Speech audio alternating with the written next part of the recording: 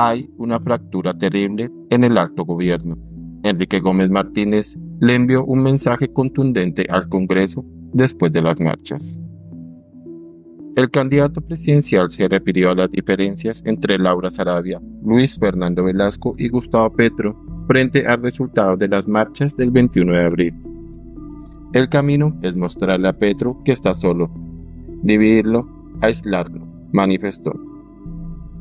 El ex candidato presidencial Enrique Gómez Martínez hizo un análisis de las masivas movilizaciones por las principales ciudades del país y dijo que más allá de enviarle un mensaje desde el asfalto al presidente Gustavo Petro, quien debe leer y entender el momento es el Congreso, quien tiene en su poder el futuro de las reformas estructurales del gobierno.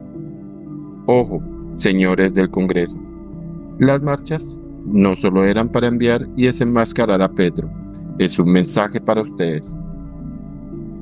Sabemos que adoran su credencial y su curul, pero ¿realmente lo merecen? preguntó. Gómez Martínez cree que después de las concentraciones de este domingo, los colombianos pasarán una cuenta de cobro en las urnas en las elecciones parlamentarias del 2026. Tantos logros de la marcha el 21 de abril. El primero definitivamente le quitamos la careta a Gustavo Petro. Hay que ver la respuesta y descalificación absolutamente vergonzosa que hace de los millones de colombianos que marchamos. Una cosa terrible. No leemos quién es el presidente verdadero y hacia dónde quiere ir él, manifestó. Otro punto para analizar, según Gómez Martínez, es lo que él llamó una fractura terrible en el alto gobierno. De un lado dijo, Laura Sarabia, directora del DAPRE, tratando de calmar las aguas, mientras el ministro del Interior, Luis Fernando Velasco reconoció la masividad de las marchas. ¿Se está desbaratando acaso el equipo de aduladores de Gustavo Petro?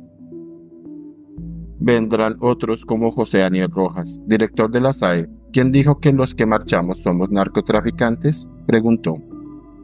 El ex candidato presidencial dijo que le pareció bueno que el centro ideológico por fin haya salido de su zona de comodidad y se dé cuenta del riesgo que representa para la democracia Gustavo Petro. Reitero que el domingo pasado también se marchó contra el Congreso.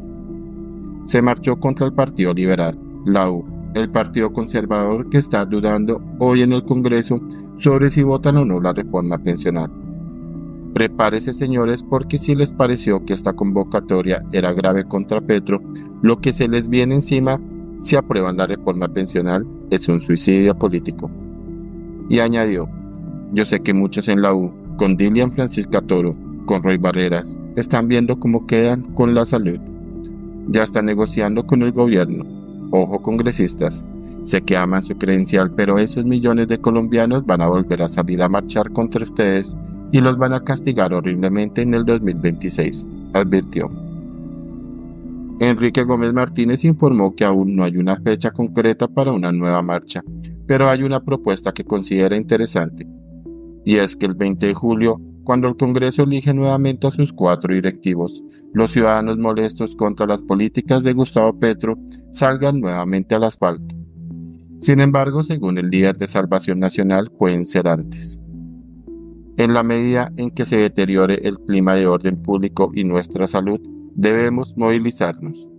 No tengamos miedo. La movilización es parte de la lucha para sacar a la izquierda del poder en las elecciones presidenciales del 2026. El camino es mostrarle a Petro que está solo, dividirlo, aislarlo.